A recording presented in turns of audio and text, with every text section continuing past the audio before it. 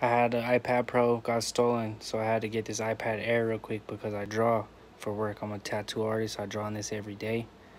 So this iPad pencil was when I had my iPad Pro.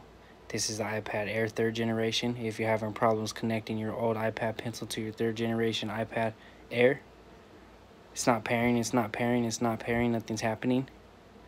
So then you get your charger, you plug it in until you hear the beep the tone that's charging.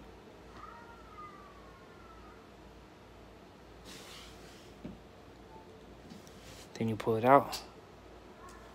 Then you get your iPad pencil, plug it in,